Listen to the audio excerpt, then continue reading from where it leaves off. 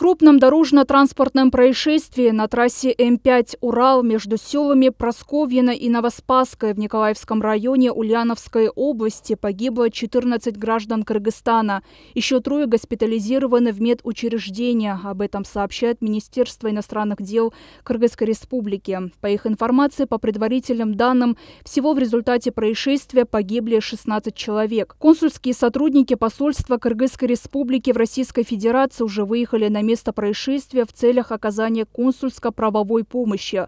Кроме того, в целях выяснения всех обстоятельств вышеуказанного происшествия установлена связь с представителями правоохранительных и компетентных органов Ульяновской области, говорится в сообщении.